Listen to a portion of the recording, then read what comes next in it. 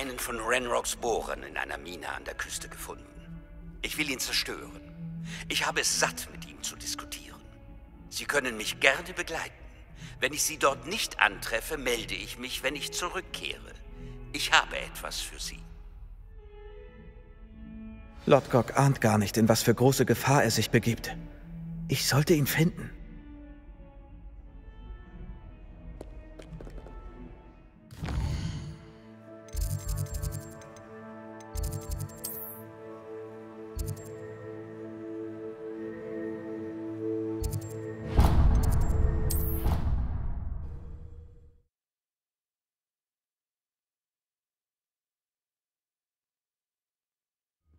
Ministerium wird davon erfahren. Diese Schufte sollen in Azkaban versauern.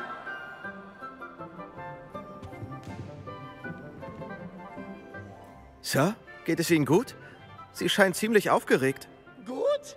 Sehe ich aus, als ginge es mir gut? Ich wurde entführt. Wie können Sie entführt worden sein, wenn Sie hier sind? Was ist das denn für eine Frage? Natürlich bin ich hier. Ich habe mehr als einen Rahmen. Haben Sie etwa nur ein Haus? Mein anderer Rahmen. Er wurde gestohlen. Und zwar von Schülern. Man heuerte dreckige Diebe an, um meinen Zweitrahmen zu klauen.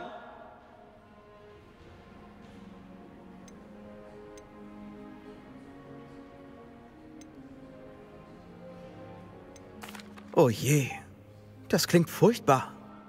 Allerdings, Astoria Cricket ist einfach furchtbar. Sie steckt hinter alledem. Sie und ihre Freunde beschwerten sich über mich. So eine Unverschämtheit. Dann hörte ich, dass sie irgendwelche Tunichtgute anheuern wollte, um mich aus den drei Besen zu stehlen. Dort hing mein anderer Rahmen. Eine ziemliche Bruchbude, aber es könnte wohl schlimmer sein. Ich kannte mal ein Porträt, das im Eberkopf landete. Seither hat niemand von ihm gehört. Gut. Zurück zu Ihrem Rahmen. Ah.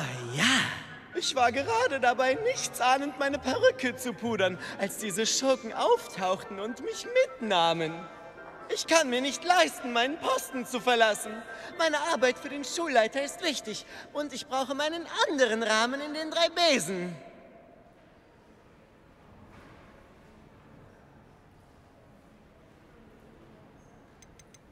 Wissen Sie vielleicht etwas über den Ort, an dem sich Ihr Rahmen befindet? Können Sie etwas von dort sehen?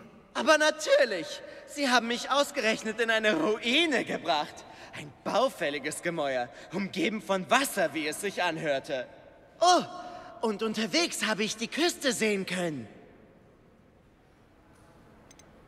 Was meinen Sie mit wichtiger Arbeit für den Schulleiter? Sagen wir, ich bekomme in Seronas schönem Gasthaus eine Menge mit. Und der Schulleiter interessiert sich sehr dafür. Er zählt auf mich, was das angeht. Wie damals, als ich Vertrauensschüler war. Oh. Aber wer ist Astoria Cricket und was will sie mit ihrem Rahmen? Sie ist eine Viertklässlerin, die ständig Ärger macht. Sie und ihre Bande von Tunichtguten reden vor meiner Nase über ihre Missetaten und verübeln mir, dass ich mithöre. Ich kann nur vermuten, dass sie meinen Rahmen in der törichten Annahme stahlen, mich für meine Arbeit bestrafen zu wollen. Ich könnte mir die Sache ansehen. Oh, würden Sie das tun? Wunderbar. Aber bitte tun Sie es schnell. Der Ort, an den ich gebracht wurde, ist unter meiner Würde. Dann ab mit Ihnen.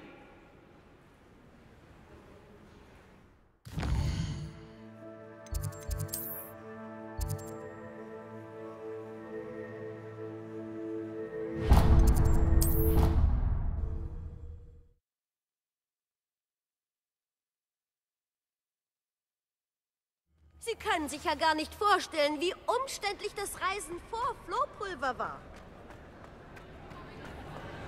Ah, ich wollte noch mit dir sprechen. Unglaublich, dass wir den Erschwinderinnen entkommen sind. Du bist übrigens Gesprächsthema Nummer eins in der Schule, seit du mich gerettet hast. Ich frage mich, woher alle davon wissen. Ich hab's meiner Mutter erzählt, in der Hoffnung, dass sie mir das Ganze eher verzeihen würde, wenn es von mir käme. Sie hat's wohl anderen Professoren erzählt. Sowas spricht sich schnell rum. Leider war sie sogar noch weniger nachsichtig, als ich gehofft hatte. Wenn sie mehr darüber wüsste, was du getan hast, wäre sie bestimmt stolz. Oh, wenn sie wüsste, was ich alles getan habe, würde sie mich nie mehr aus den Augen lassen. Tut mir leid. Hat Officer Singer irgendwas mit unseren Beweisen gemacht? Nein, Harlow ist stark wie eh und je. Jemand muss ihn aufhalten. Ob nun wir oder Officer Singer. Wenn jemand Monster wie ihn im Matabeleland gestoppt hätte, würde mein Vater noch leben. Was genau ist mit deinem Vater passiert? Es war ein schöner Tag. Meine Mutter kümmerte sich um einen kranken Nachbarn und so galoppierten mein Vater und ich durch die Savanne. Galoppiert? Dein Vater war auch ein Animagus, nehme ich an. Er konnte sich in eine prächtige Giraffe verwandeln. Er trug mich auf dem Rücken und ich hielt mich an seinem Hals fest. Wir waren auf dem Heimweg, als wir eine Gruppe von Banditen überraschten. Sie kam aus unserem Dorf. Einer sah mich, als er gerade das Tuch vom Gesicht nahm. Er schrie und zielte dann mit seinem Gewehr. Er wollte nicht, dass du ihn identifizierst. Genau. Mein Vater krümmte seinen Hals, um mich zu schützen, und wurde getroffen. Als er fiel, nahm mein Vater wieder menschliche Gestalt an. Als die Banditen das sahen, rannten sie panisch davon. Magie machte ihnen Angst. Und dann war er tot. Und es war meine Schuld.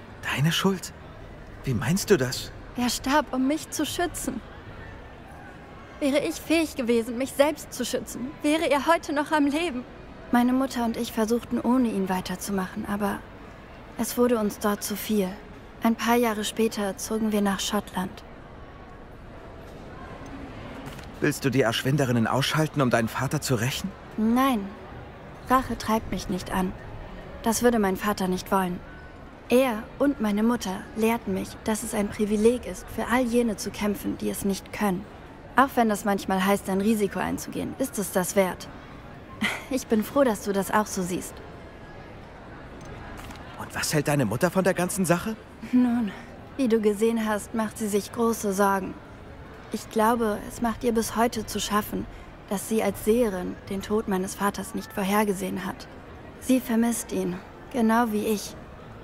Darum versteht sie wohl mein Bedürfnis, für Gerechtigkeit zu sorgen, wann immer ich kann. Aber das heißt nicht, dass sie es gut heißt. Glaubst du, dein Vater wäre einverstanden mit dem, was wir tun? Oh je, das ist eine gute Frage. Theoretisch ja. Obwohl er sich sorgen würde, wie meine Mutter. Aber gerade er würde meine Verbissenheit sicher verstehen. Mein Vater hat nie einen Kampf für das Gute gescheut, egal wie rücksichtslos der Feind war. Und ich glaube, es hätte ihn gefreut zu wissen, dass ich einen Kameraden wie dich habe.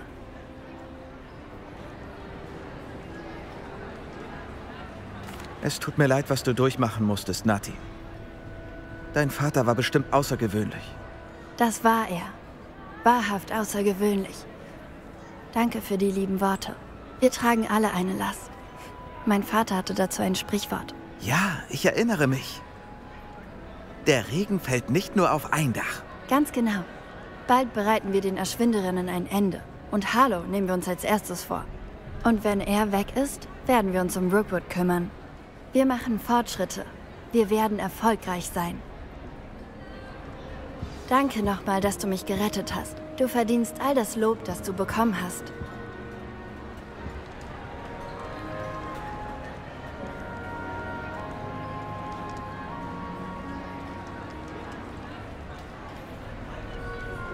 Revelio.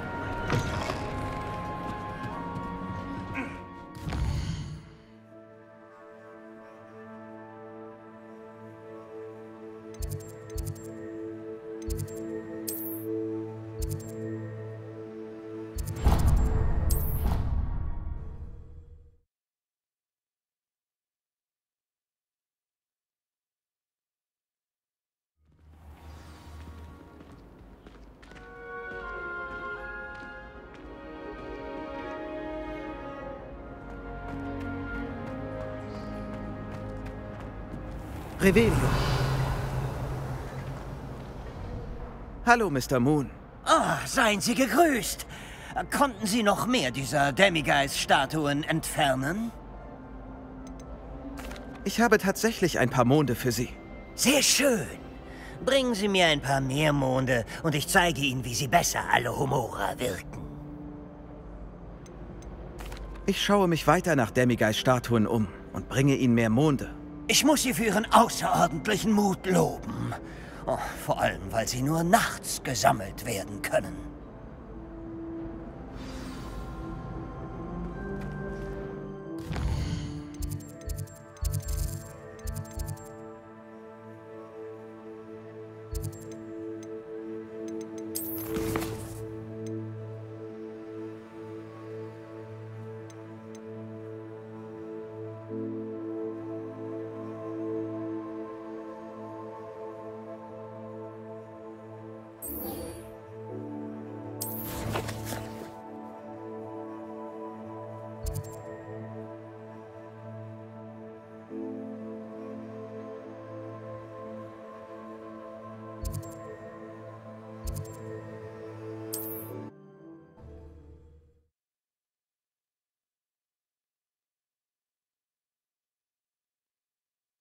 Wie es mir in so einem kleinen Dorf wohl ergehen würde.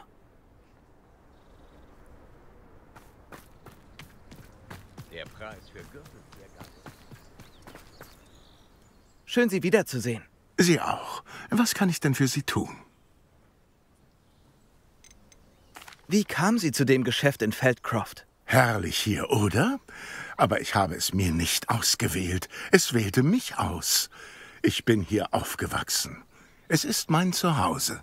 Was den Laden betrifft, wahrscheinlich hat er mich ebenfalls ausgewählt. Ich habe schon immer gern mit Tierwesen gearbeitet. Meine Töchter lieben sie. Ich würde mich nicht wundern, wenn sie den Laden übernehmen. Was verkaufen Sie hier? Schön, dass Sie fragen. Ich verkaufe alles, was es an Tierwesen-Nebenprodukten zu finden gibt. Wenn Sie mir nicht glauben, sehen Sie sich gern um. Irgendwann kommen sie schon wieder. So ist es immer. Ich bin neugierig, was in Feldcroft vor sich geht. Können Sie mir etwas dazu sagen? Nicht wirklich, obwohl... Kennen Sie Sebastian Sallow? Er besucht Hogwarts wie Sie. Müsste in Ihrem Alter sein. Sein Onkel lebt hier in Feldcroft, aber Sie sollen sich nicht so gut verstehen. Ich habe ihn lange nicht gesehen. Eigentlich schade. Seine Schwester lebt noch hier. Aber ähm, vielleicht kennen Sie ihn ja gar nicht. Ein netter Kerl. Ich mag ihn. Was verkaufen Sie hier? Wonach steht Ihnen denn heute der Sinn?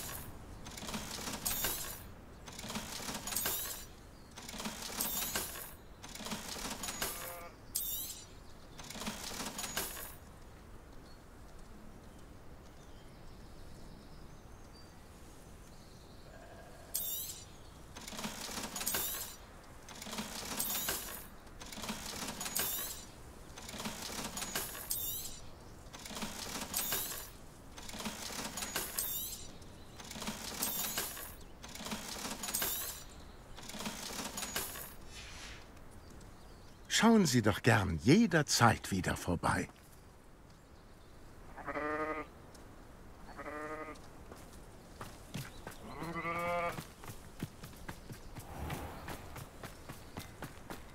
Oh.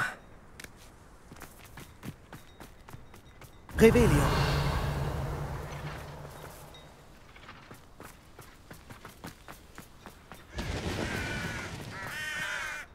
Sebastian. Ein Relikt aus den Katakomben, das ein dunkles Opfer erfordert? Ich weiß, wie das klingt, aber wenn es hilft, lohnt sich das Risiko. Weiß Ominous auch davon? Er half, das Skriptorium mit Slytherins Zauberbuch zu finden. Nun gut. Wenn Ominous dabei ist, werde ich auch kommen. Wir haben nicht viel Zeit. Solomon will Feldcroft verlassen. Was? Verlassen? Egal, du musst ihn hinhalten. Verschaff uns Zeit, Anne.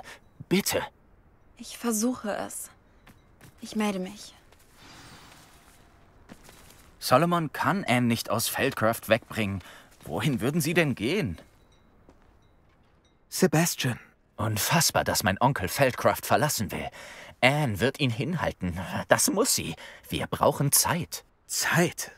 Wofür? Ich habe mehr über das Relikt erfahren. Ich habe Slytherins Zauberbuch mit dem verglichen, was in der Bibliothek über Relikte und dunkle Opfer steht. Dabei wurde mir etwas klar. Ich glaube, das Relikt funktioniert nur in der Katakombe. Wir müssen Anne in die Katakombe bringen und dann ein Opfer darbieten? Das klingt riskant. Es ist das Risiko wert. Unsere größte Hürde könnte Ominous sein. Anne gibt dem Ganzen nur eine Chance, wenn er dabei ist. Und wir müssen es vor deinem Onkel verheimlichen. Wenn er zum Schulleiter geht, fliegen wir von der Schule. Ich regel das mit Ominous. Was meinen Onkel angeht, er ist kein Auro mehr. Was er nicht weiß, wird uns nicht schaden. Glaubst du, dein Onkel würde alles dem Ministerium melden, wenn er es herausfindet? Ich bezweifle, dass er zum Ministerium geht, wenn er es erfährt. Er hat sich nicht im Guten getrennt. Er sagt es nicht, aber seine Abneigung gegen schwarze Magie hat sicher etwas mit seiner Zeit dort zu tun. Anne glaubt, er wollte einst Feuer mit Feuer bekämpfen und setzte einen unverzeihlichen Fluch im Kampf gegen schwarze Magier ein. Zumindest hat sie das so verstanden. Als er erkannte, wozu sein Beruf ihn gemacht hatte, gab er ihn ziemlich abrupt auf. Ich glaube nicht, dass er dem Ministerium von schwarzer Magie in seiner eigenen Familie berichten würde.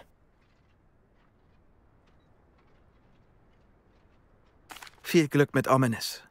Bis zum nächsten Mal. Ich werde dir sagen, wann wir vier uns in der Katakombe treffen. Achte auf meine Eule. Bis bald dann.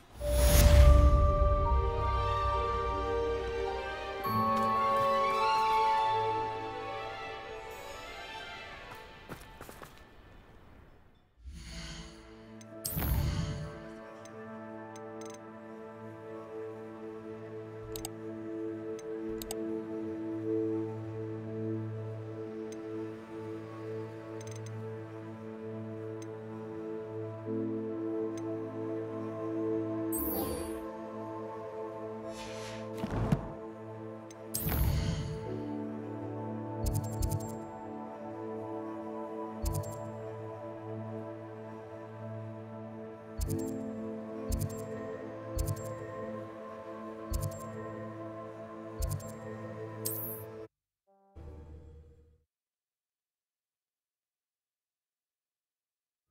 Handbuch ist ja wirklich praktisch. Ich freue mich, Revelio. vorzukommen. Kennst du Irondale? Das Dorf liegt südlich des Schlosses. Die Höhle, die wir für Doran finden sollten, könnte in der Nähe sein.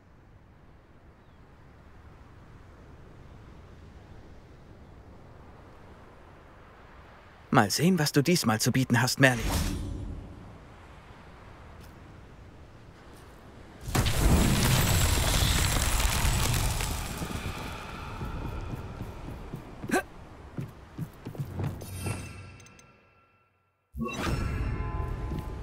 Repar.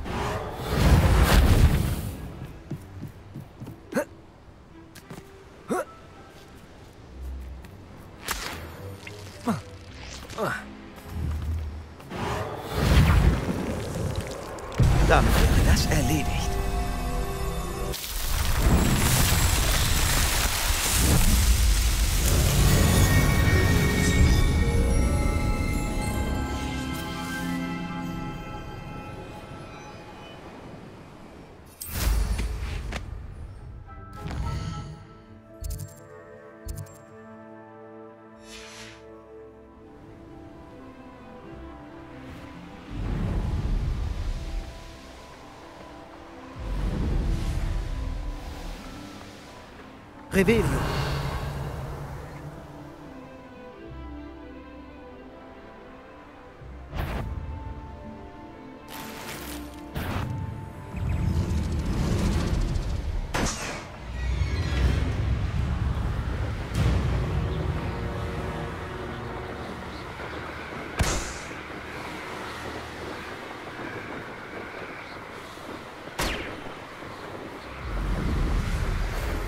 Revelio. uns in der großen Halle treffen? Ich habe eine schwere Zeit hinter mir und brauche einen Freund. Revelio.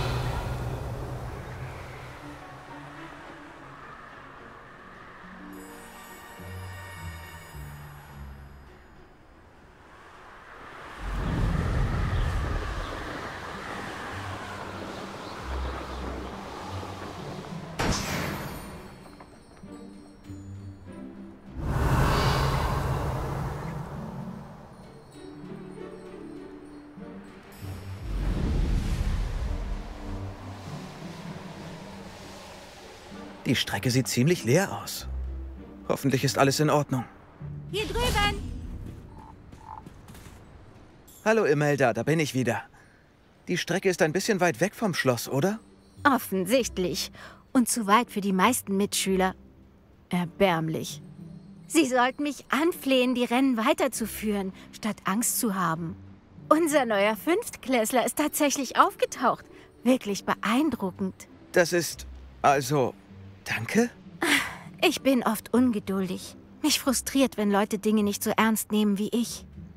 Meiner Erfahrung nach trifft das auf die meisten zu. Lass dir das nicht zu Kopf steigen. Aber genug geplaudert. Ich bin zuversichtlich, dass ich eine unschlagbare Zeit aufgestellt habe. Wir sehen ja gleich, wie ich mich schlagen werde. Ich bin bereit. Gleich wirst du verlieren.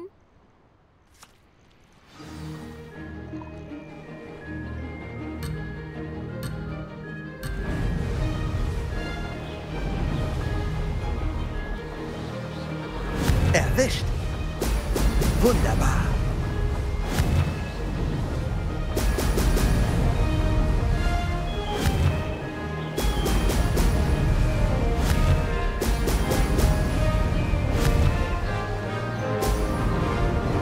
Ach, Mist.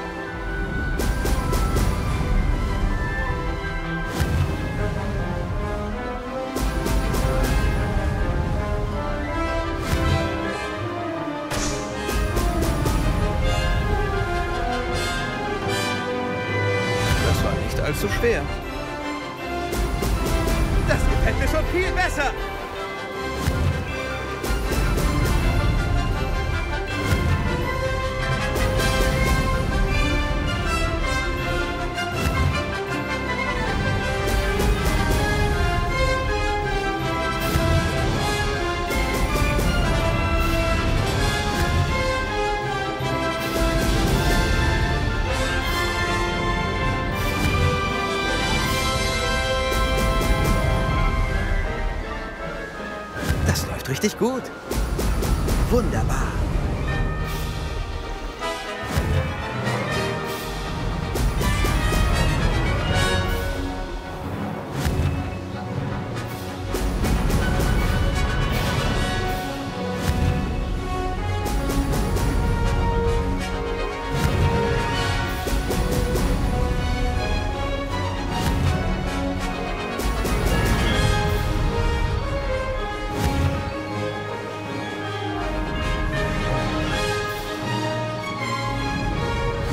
Erwischt.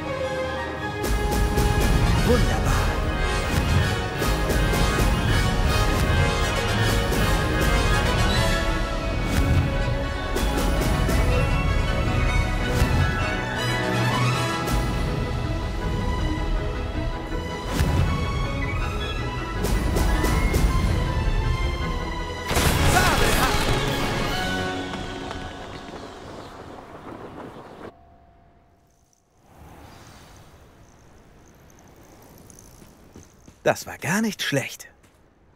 Beeindruckende Arbeit. Aber freu dich nicht zu früh. Ich hole dich sofort wieder ein. Meine Familie wird es nicht glauben, wenn ich ihnen davon erzähle. Sie sind fast so ehrgeizig wie ich. Fast. Hast du deinen Ehrgeiz von deiner Familie? Kann man so sagen. Mein Großvater spielte Quidditch für Eintracht Pfützensee. Und mein Vater, naja, er war Jäger für Slytherin, musste aber aufhören, als ein Fluch sein Knie ruinierte. Er meint, es war der Gryffindor-Treiber. Und ich verliebte mich ins Fliegen, als ich zum ersten Mal den Boden unter meinen Füßen schwinden sah.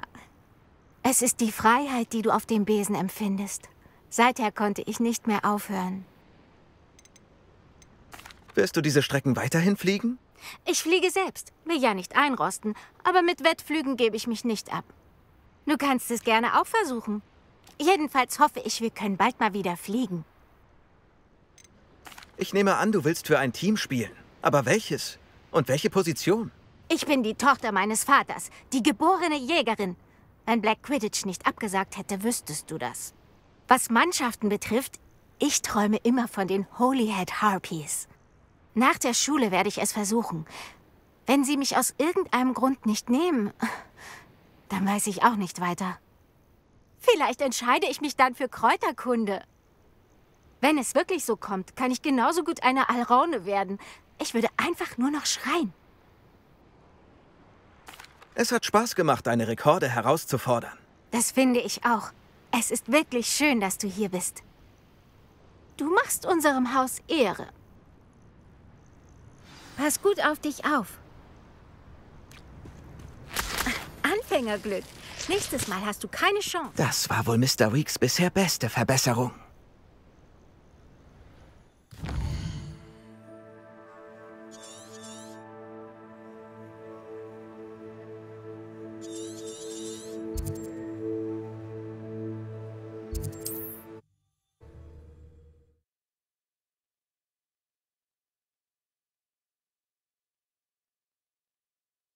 Gibt's einen gemütlicheren Ort als Hogsmeade?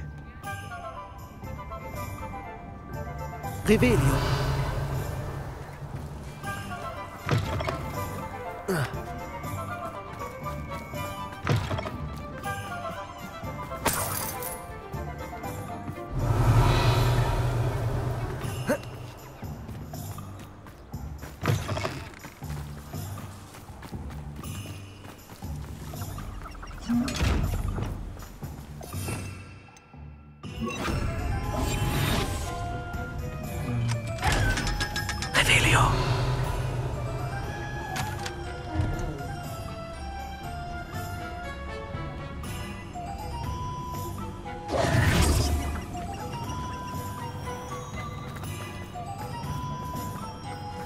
Revelio.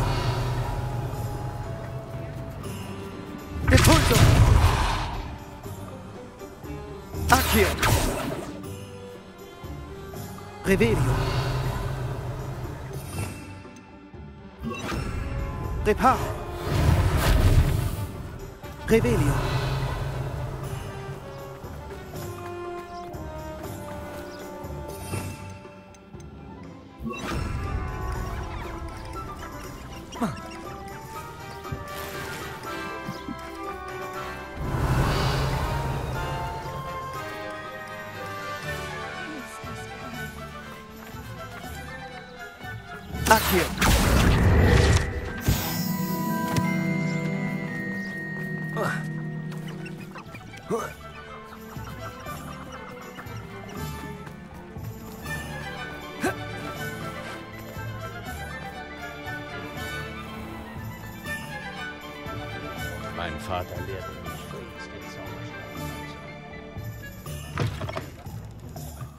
Wie geht's meinem Lieblingstestpiloten? Hallo nochmal, Mr. Weeks. Ich habe den Rekord auf dem Südkurs gebrochen. Fantastisch! Der Besen flog also gut? Die bisher beste Verbesserung. Er fliegt wunderbar. Extrem wendig. Aber bei dem Tempo, das er jetzt erreicht, spüre ich den Wind zu sehr. Er verhindert, dass er sein volles Potenzial entfaltet. Natürlich! Das hätte ich mir denken können. Genau die Art von Bericht, die ich von Ihnen erwartet habe. Ha! Endlich weiß ich, wie meine letzte Verbesserung aussehen muss. Was werden Sie nach der letzten Verbesserung machen? Ich will Spint Witches zum beliebtesten Geschäft in Hogsmeade machen. Und ich würde gern mal wieder auf einen Besen steigen. Für den Nervenkitzel. Ich könnte nicht zufriedener mit unseren Verbesserungen sein. Wieder den Pessimisten. Die harte Arbeit hat sich gelohnt. Ich freue mich schon auf unser Wiedersehen. Ich schicke Ihnen eine Eule, sobald ich fertig bin. Und nochmals, vielen Dank. Ohne Sie hätte ich das nicht geschafft.